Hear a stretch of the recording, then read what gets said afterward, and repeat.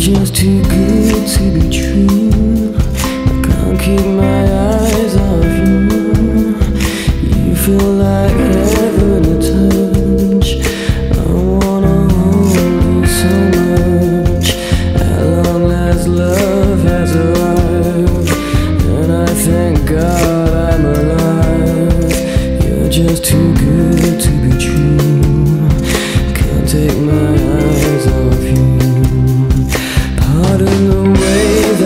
monster